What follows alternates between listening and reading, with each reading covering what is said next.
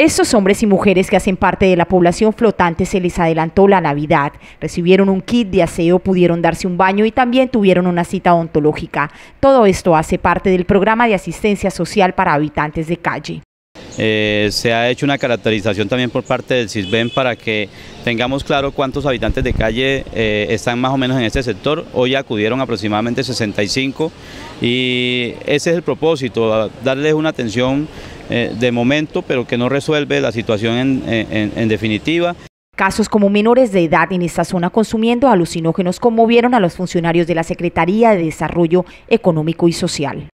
una niña de escasos 13 años que por problemas familiares optó por estar en la calle, pero estamos en la consecución de la familia. La idea es lograr que la familia la busque y llegue hacia ella y poder este, lograr que esta niña vuelva a su hogar porque apenas hace un mes está en la calle.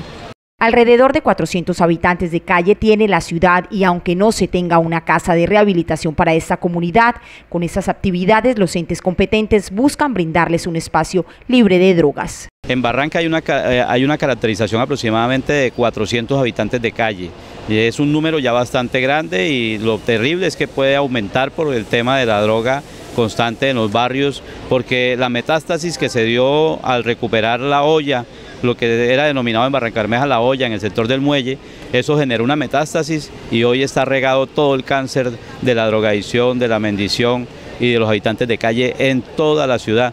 Esa actividad se desarrolló en el Malecón del Cristo Petrolero y entre enfermeras, odontólogos, trabajadores sociales y líderes comunitarios sacaron adelante una jornada que le llevó sonrisas a quienes en la mayoría de los casos son desplazados y olvidados por la sociedad.